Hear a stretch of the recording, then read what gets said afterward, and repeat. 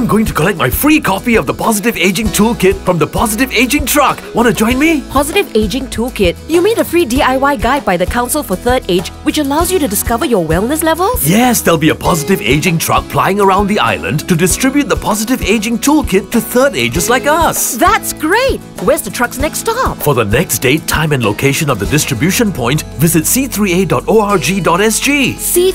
c3a.org.sg. I'm gonna WhatsApp all my friends.